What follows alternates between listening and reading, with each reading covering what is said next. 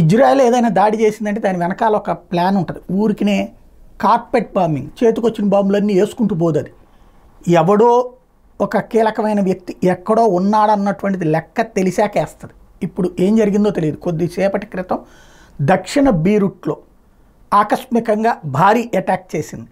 ఒక అపార్ట్మెంట్లో మొత్తం ఈ గైడెడ్ మిస్సైల్స్ వేసింది. యుద్ధ విమానాల ద్వారా అటాక్ చేసింది. డ్రోన్స్ ద్వారా అటాక్ చేసింది. అలాగే బంకర్ బ్లస్టర్ బాంబుల్ని వేసింది. అంటే టోటల్గా భవనం కొలాప్స్ చేసేసింది.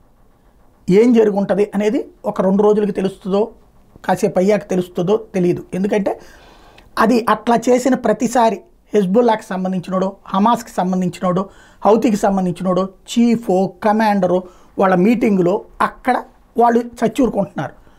ఆ తర్వాత బయటపడుతుంది. ఇజ్రాయెల్ ఆ శవాల్ని చూశాక వాళ్ళది మళ్ళీ డిఎన్ఏ టెస్టులు చేయించాక ఎవడు సచ్చాడన్నది లెక్క చెప్తూ ఉంటుంది. మన సిన్వర్గాడి చావు దగ్గర నుంచి ఏ విషయంలోనైనా అలాంటి లెక్కే తీస్తూ ఉంటుంది. ఇప్పుడు ఎవడు సచ్చాడనేది తెలియాల్సి ఉంది బట్ అటాక్ అయితే సక్సెస్ అయింది. ఆటోమేటిక్గా లోకల్గా ఉన్నటువంటి లెబనాన్ ప్రభుత్వం వాళ్ళ ఆరోగ్య శాఖ ఏం చెప్తుంది? ముప్పై రెండు మంది ప్రజలు చనిపోయారు అని చెప్తుంది. హమాస్ తీవ్రవాదులు ప్రజలే హిజ్బుల్లా తీవ్రవాదులు ప్రజలే హౌతీ తీవ్రవాదులు ప్రజలే. అదేంతో పాపం ఆ ప్రజలు మాత్రం నిజమైనటువంటి వాళ్ళు. నీ ప్రజలు అనాలో లేకపోతే వాళ్ళని తీవ్రవాదులు అనాలేమో సాధారణ ప్రజల్ని అర్థం కాని పరిస్థితి అక్కడ.